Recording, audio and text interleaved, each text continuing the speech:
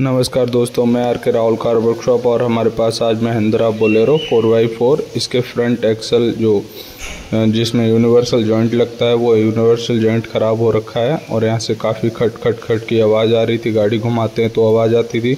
तो इस एक्सल का, जो यूनिवर्सल जॉइंट है, उसको चेंज करने का तरीका मैं आपको दिखाऊँगा, पूरा वीडियो देखना। तो इसको, ये एक्सल को जो ये जॉइंट डालना है तो वो कैसे डालेंगे? यूनिवर्सल जॉइंट डालने के लिए हमें क्या क्या खोलना पड़ेगा? पूरा वीडियो देखोगे, आपको पूरा समझ में आएगा और ईजी है, आप खुद भी कर सकते हैं। तो हमने इसके लिए क्या क्या चीज़ को खोलना है, वो हम बताते हैं आपको। तो इसमें देखिए, अगर आप नीचे से उठा के देखेंगे, ऊपर की तरफ़ और हिलाएँगे तो हिलता हुआ अगर लगे आपको तो आपको पता चल जाएगा कि हमारा यूनिवर्सल जॉइंट ख़राब है। यूनिवर्सल जॉइंट ख़राब तभी होता है जैसे पानी में, रेत में चलता है क्योंकि बाहर रहता है और इसमें कोई निपल नहीं होती ग्रीस करने के लिए तो ये ख़राब हो जाता है। तो इसके लिए क्या क्या चीज़ को खोलना है, पूरा वीडियो देखिए आप, टायर को निकाल दीजिए बाहर और ये कप, कफ होता है जो, उसको निकाल दीजिए और इसके अंदर आता है एक लॉक। उसको आप लॉक को बाहर निकाल देंगे, उसके बाद आप इसके चारों जो कैप रहता है, उसके पाँच छः नट रहते हैं, उनको खोल दीजिए और एक ऊपर से छिजल लेंगे, उससे थोड़ा सा चोट मारेंगे तो वो बाहर की तरफ़ हो जाएगा। और इसको बाहर निकालने के बाद इसमें रहते हैं चक नट लॉक और उन लॉकों को निकालने के लिए उसको पहले ग्रीस रहती है, उस कपड़े से किसी से साफ़ कर देंगे और चकनट होता है, चकनट लॉक होता है। उसकी भी एक लॉक पत्ती होती है, उस लॉक पत्ती को पहले हमें उठाना पड़ेगा।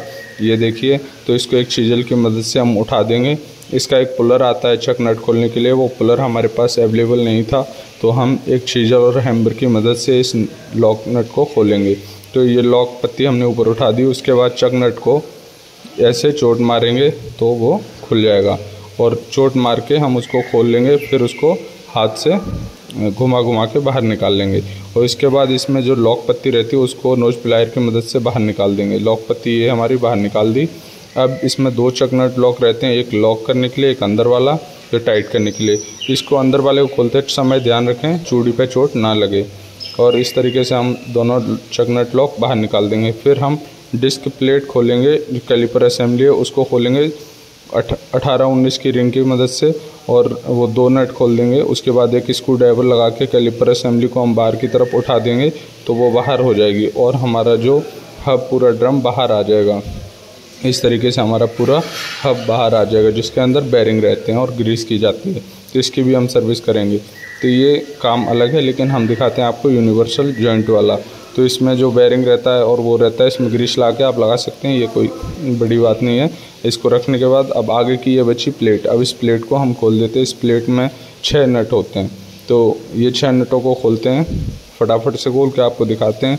तब तक आप एक काम कीजिए, हमारे अगर चैनल को आपने सब्सक्राइब नहीं किया है तो सब्सक्राइब कर लो, क्योंकि मैं टेक्निकल वीडियो छोटे मोटे बना के डालता रहता हूँ, जो आप लोग अपना खुद ही कर सकते हैं खुद ही देख के आपके काम आ सकता है।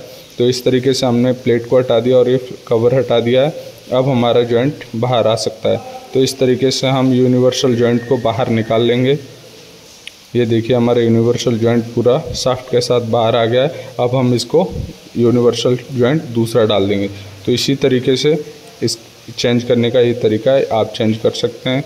और अगर कहीं गए मैकेनिक ज़्यादा आप बता रहे हैं तो आप इसको बता सकते हैं। अभी इसके लॉक रहते हैं, वो निकाल के आप कर सकते हैं। अगर वो नहीं देखा तो आप नेक्स्ट वीडियो में देख लें। फिर मिलते हैं नेक्स्ट वीडियो में, तब तक के लिए नमस्कार।